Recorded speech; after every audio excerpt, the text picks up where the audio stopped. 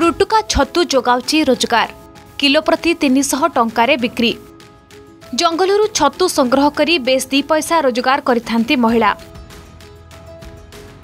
ରୁଟୁକା ଛତୁ। ମୌସୁମୀ ବର୍ଷା ହେବା ପୂର୍ବରୁ ମାଟି ଫଟାଇ ବାହାରକୁ ବାହାରିଥାଏ।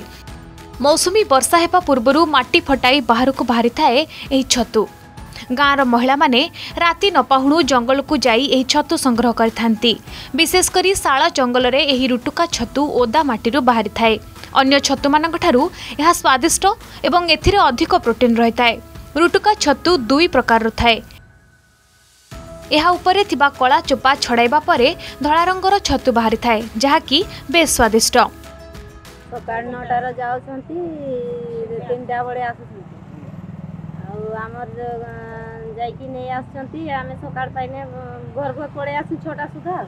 ଆମେ ତିନିଶହ ଟଙ୍କା କିଲୋରେ ବିକୁଛୁ ପିଲାର ହେଉଛି ଶହେ ପଚାଶ ଟଙ୍କା। ଆମେ ସେଠୁ କଲେକ୍ସନ୍ କରିକି ସବୁ ମାଆମାନଙ୍କଠୁ ନେଇକି ଆସୁଛେ ଆଉ ଏଠି ଆମେ ଟି- ଟିକେ ଅଧିକ ଲାଭରେ ବିକ୍ରି କରୁଛୁ ଆଉ।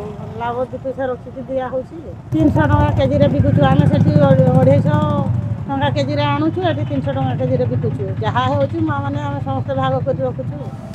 ଜଙ୍ଗଲରୁ ସଂଗ୍ରହ କରାଯାଉଥିବା ଏହି ଛତୁ କିଲୋ ପ୍ରତି ତିନିଶହ ଟଙ୍କାରେ ବିକ୍ରି ହୋଇଥାଏ।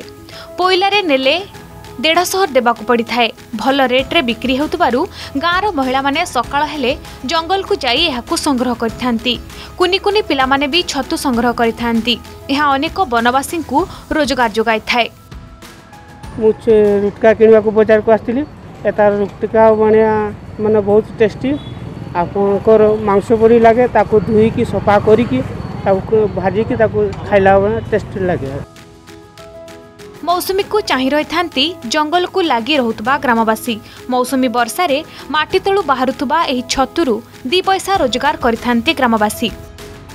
ମୟୂରଭଞ୍ଜ କରଞ୍ଜିଆରୁ ବିନ୍ଦୁସାର ଦାସଙ୍କ ରିପୋର୍ଟ ଅର୍ଗସ୍ ନ୍ୟୁଜ୍।